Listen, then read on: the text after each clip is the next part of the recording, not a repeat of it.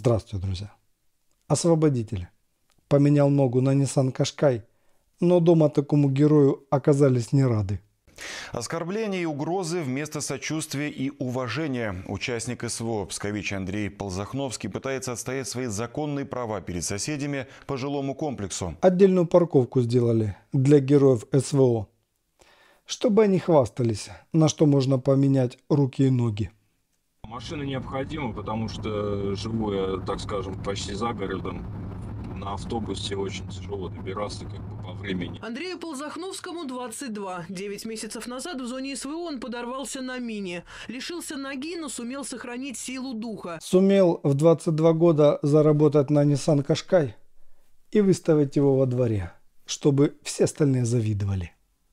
Ходить на протезе на большие расстояния Андрею непросто. Паркуется рядом с подъездом. Культурно просил людей оставить мне парковочное место, выйти, переставить машину, но, к сожалению, люди м, очень сильно против этого, то, что я пользуюсь своим положением. Андрею написали «Послушай, самовар, ты живешь за наш счет, машину с квартирой купил за наш счет, и даже твой протез оплатили мы, платя государству налоги.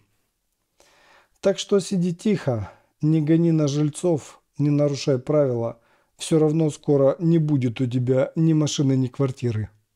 Вот, послушай, самовар, ты живешь за наш счет. Машину с квартирой купил за наш счет. Да даже твой протез оплатили мы, платя государству налоги.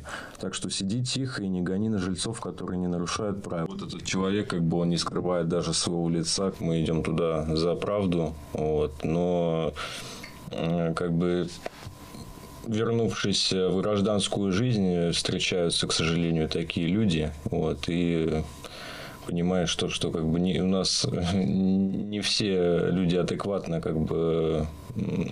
Не все люди адекватно реагируют на то, что я за деньги поехал убивать ни в чем невинных людей. Какая вопиющая несправедливость. У дома Андрея целых пять парковок для людей с ограниченными возможностями.